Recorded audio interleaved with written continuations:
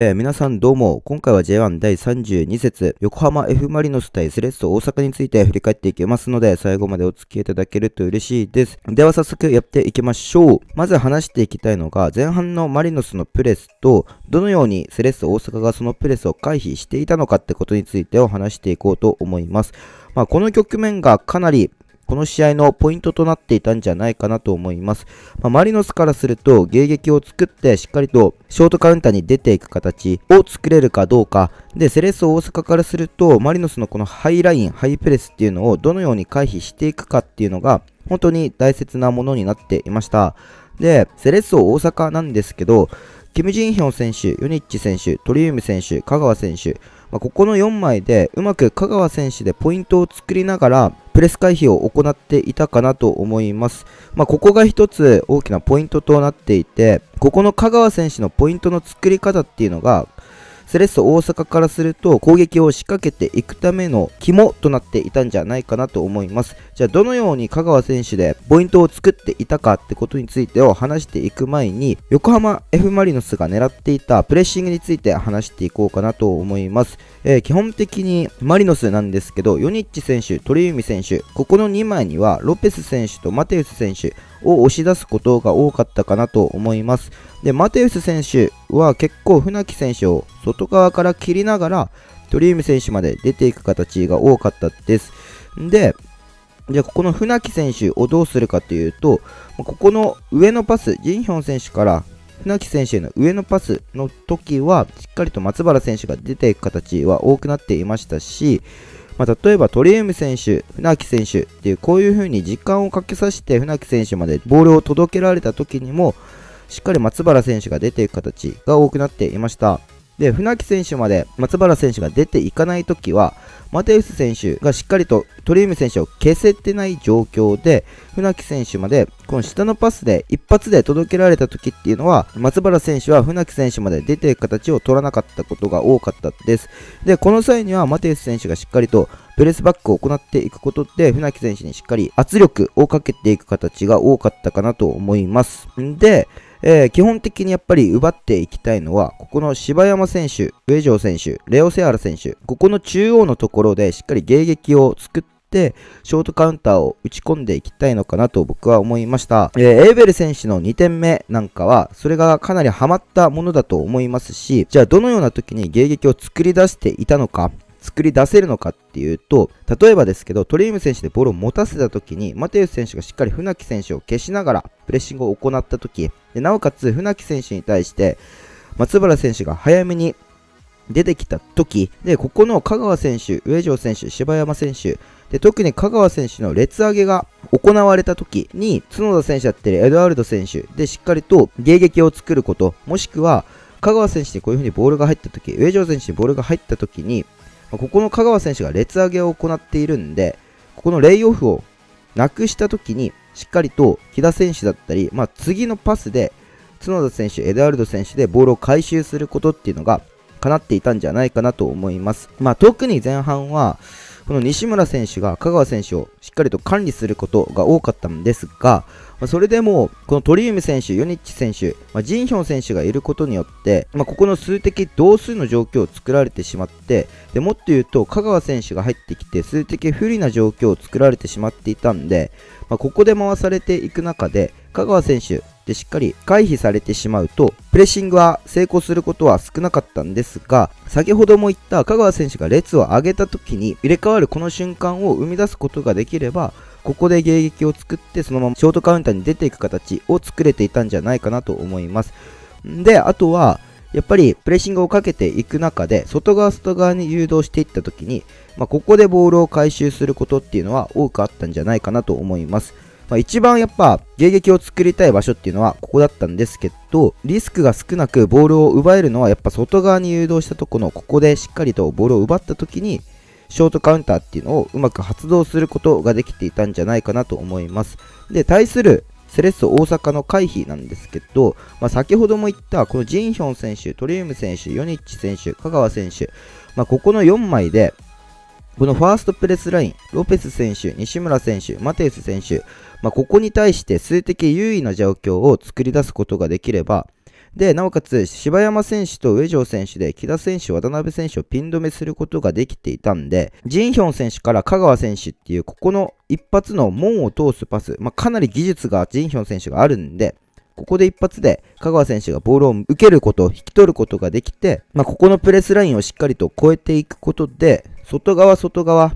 まあ、カピシャーバ選手だったり、クルークス選手を強調しながら攻撃を仕掛けることっていうのはできていたんじゃないかなと思います。で、もう一つあって、それが上条選手、柴山選手へ、例えばセンターバックの選手が縦パスを打ち込んだ時のここのレイオフの形で、ここのレイオフの形で香川選手がポイントを作っていくっていうのがうまく作れていたんで、これを前半は押し出すことができていて、プレス回避をうまくセレッソ大阪は作ることができていたんですが、まあ先ほども言った時折見せるここの入れ替わりによって、レイオフを潰された時に迎撃を作られて、で、そのままボールを奪われて、ショートカウンターに出ていく形を作られてしまっていたんで、まあ、ここのリスク管理っていうのをうまくすることができれば、セレッソ大阪は完璧なプレス回避っていうのができていたんじゃないかなと思います。まあ、それでもマリノスはしっかりと前に出て、ボールを回収していくことを考えていましたし、やっぱりそれを押し出していくための強さっていうのを持っているなと改めて感じる一戦でもありました。はい。で、次なんですけど、次は打って変わって、マリノスの保持の局面と、セレッソ大阪の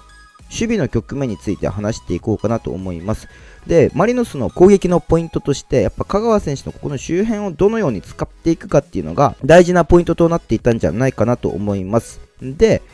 セレッソ大阪なんですけど、この渡辺選手、木田選手に対して柴山選手、上条選手、で、セレッソ大阪なんですけど、渡辺選手、木田選手に対して柴山選手と上条選手がしっかりマークをついていく中で、エドワルド選手、角田選手に対して、こういう風にジャンプして出ていく形が多かったかなと思います。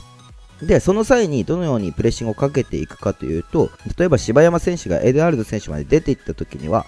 渡辺選手まで出ていく形が多くなっていて、で、こうなった時に、マリノスは西村選手だったり、ロペス選手がここに降りてきて、インサイドハーフの背後のスペースでボールを引き取ることっていうのが多くなっていたんじゃないかなと思います。で、ここでボールを引き取ることが多くなってくると何が起こっていたかというと、クルークス選手だったりカピシャーバ選手、ウィングの選手が少し内側に絞ってくることが多くなってくるんで、そうすると、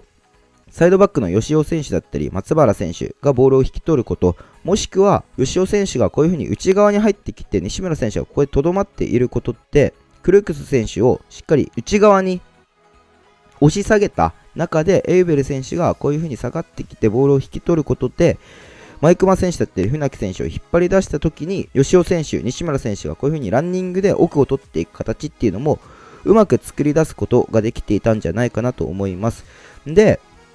この香川選手をどのように動かしていくのか、で、この香川選手の周辺をうまく作っていくのかっていうのを、うまくマリノスは共有しながら攻撃を仕掛けることができていたんで、あまりセレッソ大阪の守備の局面、プレスの局面、ミドルブロックの局面で窮屈さを感じることは少なかったんじゃないかなと思います。しかし、やっぱり、ボールを奪われた時に、ここのサイドバックが上がっているんで、ここの背後のスペースっていうのをセレッソ大阪はうまくついていくことで攻撃を仕掛けることもできていましたし、マリノスからすると、やっぱりここの背後のサイドバックの背後のスペースをどのように管理していくのか、まあ、ここは差し引きなんですが、ボールの奪われ方が悪いと、やっぱここで起点を作られて、非カウンターを食らってしまっていたなっていうのを強く感じる一戦でもあったんじゃないかなと思います。まあ、それでも、やっぱここもマリノスの心情を強く押し出すことができるメンタルがあるのは、やっぱり強いなと感じる一戦でもありました。で、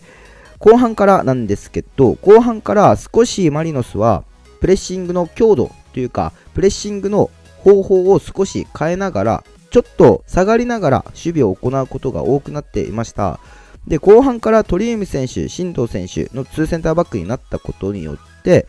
持ち出しが多くなったかなと僕は感じます。んで、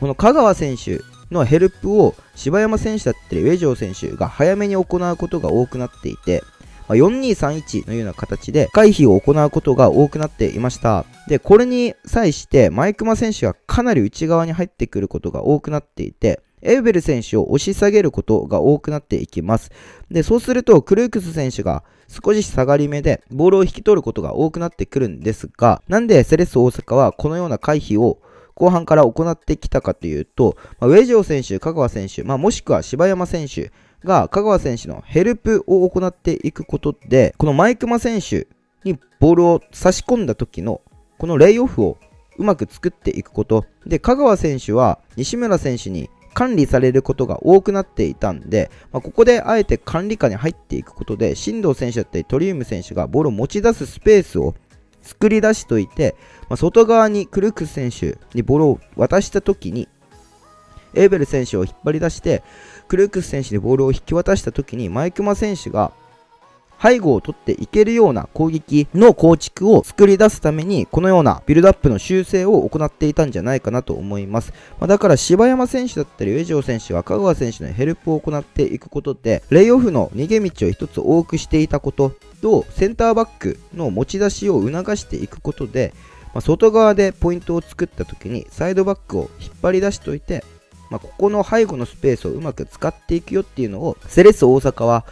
ハーフタイムできっと修正していて、それがうまくはまった後半だったんですが、マリノスはこのサイドバックを引っ張り出された時のセンターハーフの押し戻しがめちゃめちゃ速かったんで、マリノスはこれによってセレッソ大阪に完全にペースを渡すことなく、ボールを奪った先でカウンターっていう人差しを残しながら試合を進めることができていたんじゃないかなと思います。かなり後半はセレッソ大阪がボールを持ちながら攻撃を仕掛けることができていたんですが、まあ、しっかりとハードワークを行っていく中でマリノスが勝ち切った一戦だったんじゃないかなと思います。お互いに回避のところに目を向けていくと本当に面白い試合だったんで、ぜひ皆さんこの試合見返してみてください。